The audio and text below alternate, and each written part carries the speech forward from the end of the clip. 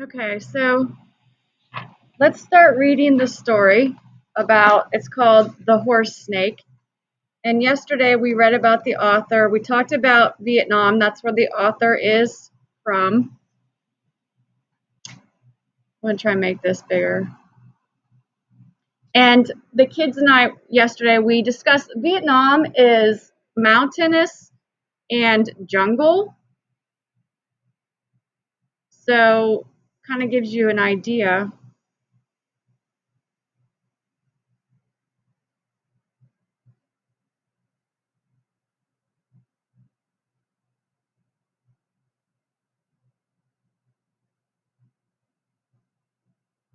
So before we start reading, we look at the title. Remember, when I when you come back on the next day you come back to class, I'm going to look at your packet and make sure that you have marked it up and answered the questions that are on the side. So make sure that you do that. So the horse snake, what do you think the theme? Because remember, the author usually puts the theme of the story in the title. What do you think um, the theme of this might be? Go ahead, Cohen. A myth it could be a myth, which is a genre what what could the theme be? And the theme is um, what the story is all about, right? The main idea. Go ahead. Okay.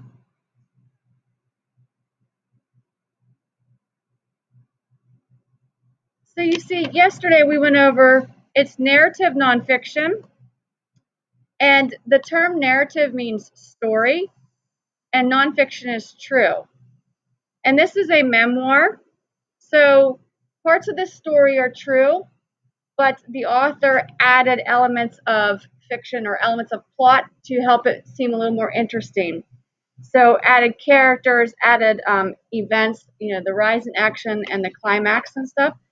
So the theme of this story probably is about, um, well, can't really tell by this, but obviously it's about a snake. So maybe um, don't be afraid because I know when I hear snake, I get scared. I don't know about you, but I don't like snakes. Some people do.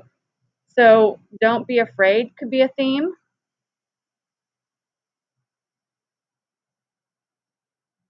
And then I'll tell you what the theme is at the end because there is a particular theme in this story that we can't get from the title. So let's start reading. So once again, I'm going to model to you active reading. That's why I'm going to read this to you. You can do my active reading or you can do your own active reading if you feel comfortable enough. But remember, um, active reading stands for ask questions, make connections, track down your answers, make inferences, visualize, and then eureka. Despite all his courage, there was one creature in the jungle that Tank always tried to avoid the snake. Now I'm going to put a question here. Who is Tank. Yesterday, in the pre-reading strategies over here on this page, it talked about the author and his favorite water buffalo. His name was Tank. So if you did not read this page here, then you wouldn't have that background knowledge. That's why it's important that, that you read everything. So there's my A. Here's my T. Tank is um, the water buffalo.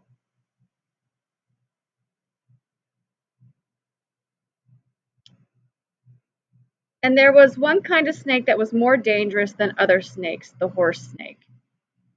In some areas, people called it the bamboo snake because it was as long as a full grown bamboo tree. Yikes. Yuck. In other regions, the people called it the thunder or lightning snake because it attacked so fast and with such power that its victim had neither time to escape nor strength to fight it. Now, I believe that the um, horse snake is is real. Um, I haven't had a chance to look that up, but this is a memoir, and memoirs are true. They're a particular story from a person's life. They're not a biography where biographies start at the beginning of a person's life and move the way to the end if they're dead. Um, a memoir is a particular event, and we all have probably one story that has shaped our lives that we could write a memoir about. So I know that the horse snake is real. I'm not sure if, if what it looks like. I got a picture on Classroom and it has the head of a horse. I don't think that's what it looks like, but like I said, I haven't had time to look it up and I will because I want to know. In our area, we called it the horse snake because it can move as fast as a thoroughbred. Now, a thoroughbred is one of your vocab words that I pulled out. So I want you to be able to know what a thoroughbred is. Obviously, there must be something special or different about a thoroughbred versus just calling it a horse, or the author would have put in a horse. Here's a picture. You can't see it real well on page 126. Now in classroom, the story is linked under the title. It says the horse snake and it's underlined. That's where you get the story if you need it. One night, a frightened friend of ours, our family's, banged on our door and asked us to let him in. When crossing the rice field in front of our house on his way home from a wedding, he had heard the unmistakable hiss of a horse snake. Ooh, that would just freak me out. We became very worried, not only for us and our friend, but also for the cattle and other animals we raised. Now, yesterday when we did the pre reading, we talked about chronological order. We reviewed that the root chron means time. You guys by now should know chronological order means to put things from oldest to newest. Reread lines 10 through 14. What is the first event in this section, selection? Record the event and the time of day on your timeline. You don't need to do a timeline. Our active reading will do that. But let's answer this question. What is the first event?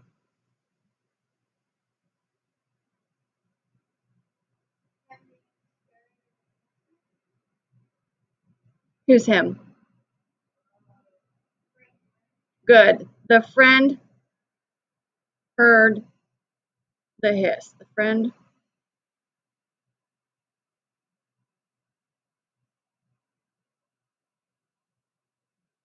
of the horse snake.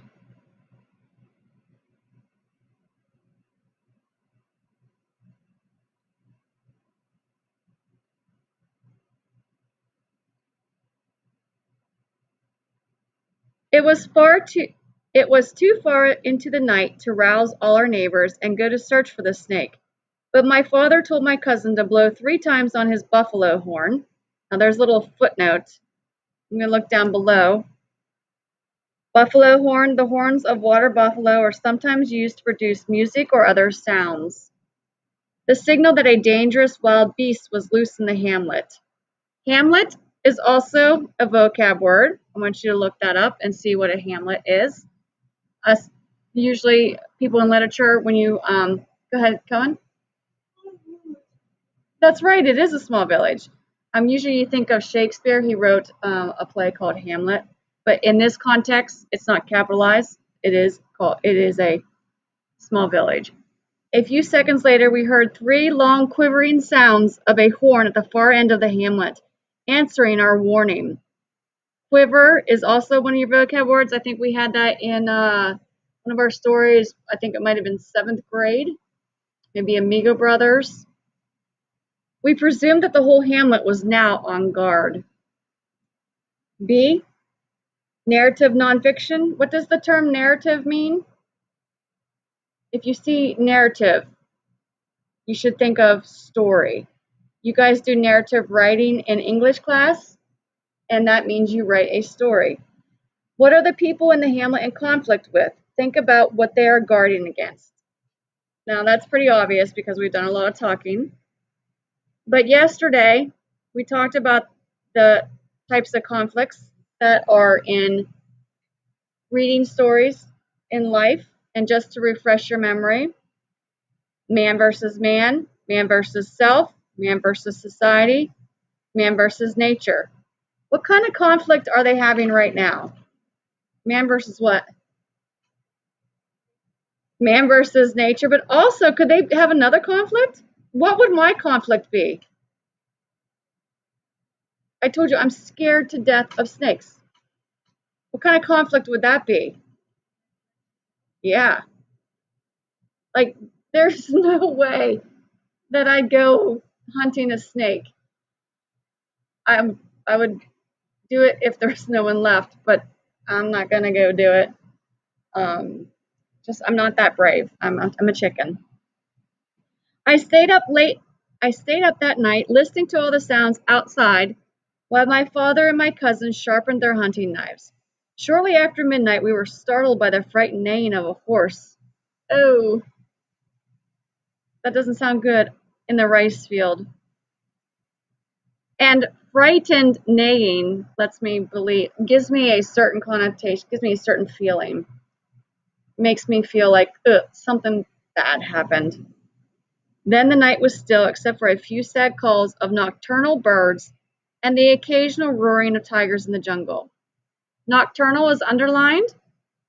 Nocturnal means active at night. And hopefully you guys know what that means. If um, animals are nocturnal, they come out at nighttime.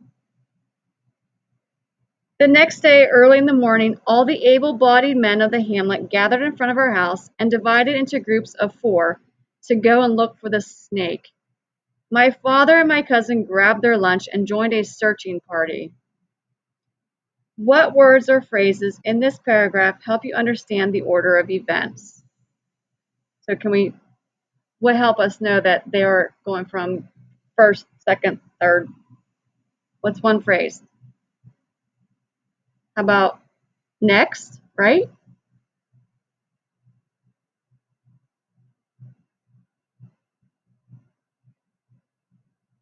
Okay, that's the only one I see so far. So you want to pay attention because remember, authors give you guys clues to help you when you read certain genres. Everybody agreed that it was the work of one of the giant horse snakes which had terrorized our area as far back as anyone could remember. The horse snake usually eats small game such as turkeys, monkeys, chickens, and ducks. But for unknown reasons, sometimes it will attack people and cattle. A fully grown horse snake can reach the size of a king python. And, you know, I think most of you know what pythons look like. They are huge. Down below in the footnotes, a large, heavy snake that can grow to a length of 20 feet and kills its prey by squeezing it to death. So 20 feet. The ceilings are typically 8 feet. This might be a little bit higher. That's a big snake. Oh, I would never want to so those are the kinds of animals, reptiles, that live in the jungles. The men searched all day, but at nightfall they gave up and went home. My father and my cousin looked very tired when they returned. My grandmother told them to go right to bed after their dinner and that she would wake them up if she or my mother heard any unusual sounds.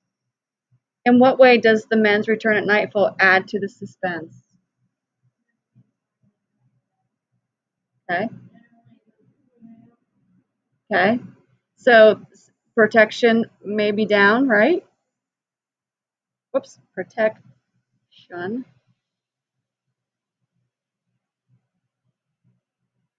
How else? Aren't we taught that darkness is scary, right? Things creepy go around in the dark.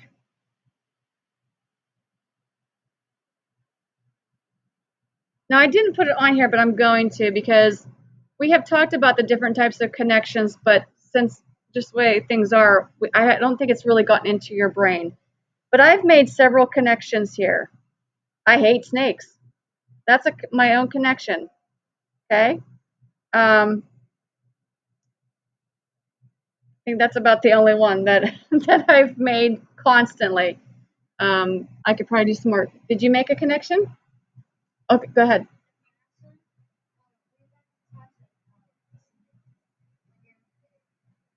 So it was probably a, a boa constrictor. Because um, there was one at a fair, and my son, when he was seven years old, he uh, held it, and it started to wrap its tail around his ankle, and his his legs started to turn around, and we're like, okay, that's fine, get the snake off him. but I mean, it was obviously harmless. I don't know. The men went to bed and the women prepared to stay up all night. My mother sewed torn clothing and my grandmother read a novel she had just borrowed from a friend. So I'm going to make my own connection just to show you the connections. Remember some stories. Now this I I kind of like this story, so I'm probably going to remember it. But there are some stories that we read that are just so dull, so boring that we need to make connections um, to help us remember it. So a certain type of I'm going to make this is a text to self which is the what the other one was too. Um, I I can relate to the grandma because I love to read. Um, I'm always reading. Now you see, you may not have the same connection, and that's okay. We're all different creatures.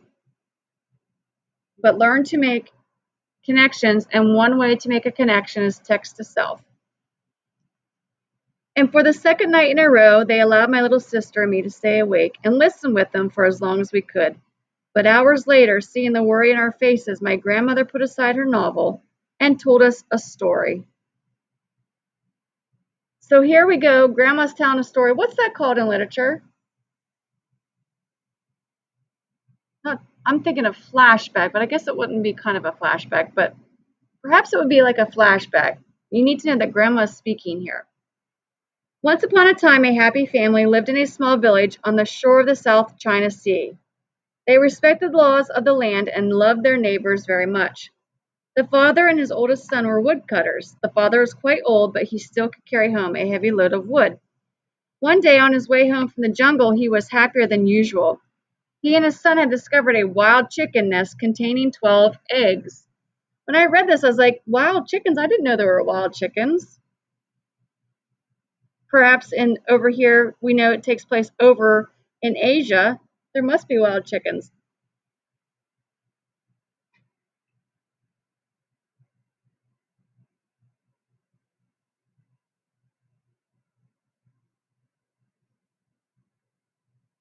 Now he would have something special to give his grandchildren when they pulled his shirt sleeves and danced around him to greet when he came home. The father looked at the broad shoulders of his son and his steady gait under a, a very heavy load of wood. Now, this isn't gait like the gait I know, so I'm going to use context clues to figure out what this word means.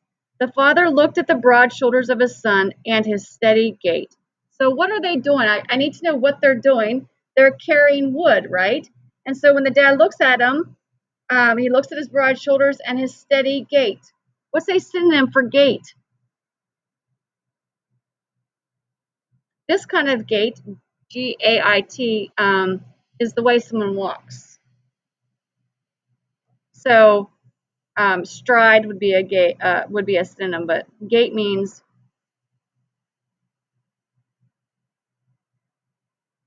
the way someone walks. He smiled. His son was a good son, and he had no doubt that when he became even older still, his son would take good care of him and his wife. As he was thinking this, he saw his son suddenly throw the load of wood at a charging horse snake. Oh, that just, sorry, that just sends shivers down my spine.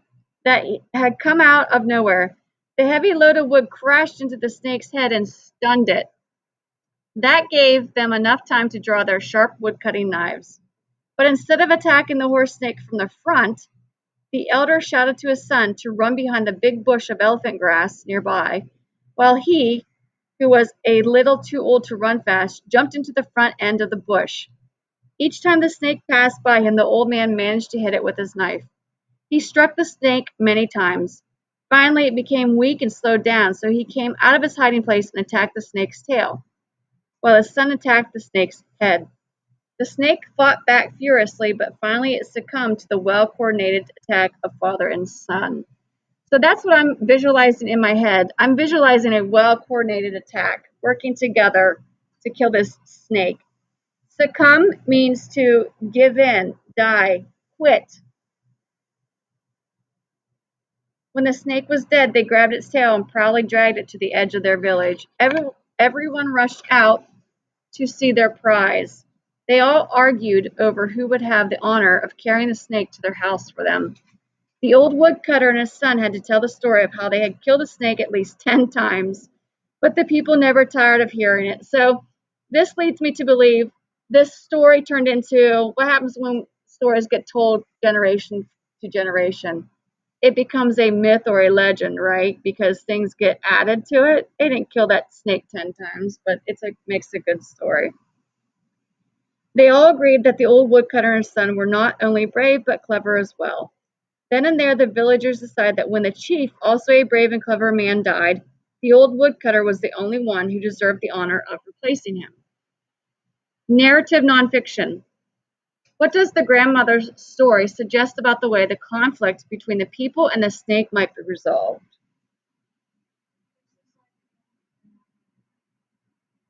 So, I, I don't know if I heard you correctly, but so it suggests that they should work together and attack it from both ends. So be united. Very good, Cohen.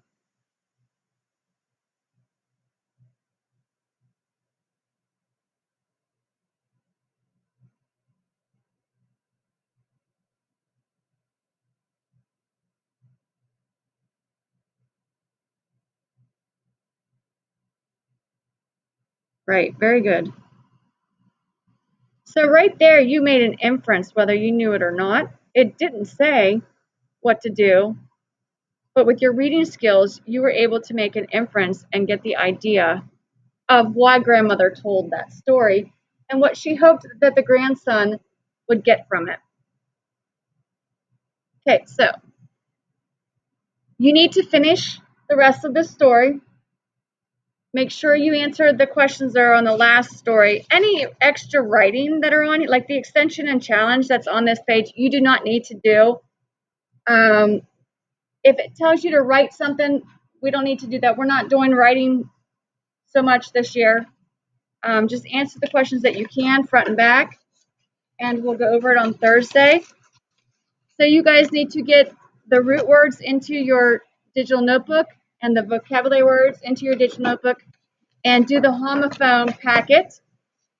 And then Thursday, we will clean that all up, have everything due. And the Harry Houdini one, that's that's last week. It's done. Oh, that one needs to come back. I'll collect that Thursday. Oh. Uh, do that, and that will come back on Thursday. Elliot?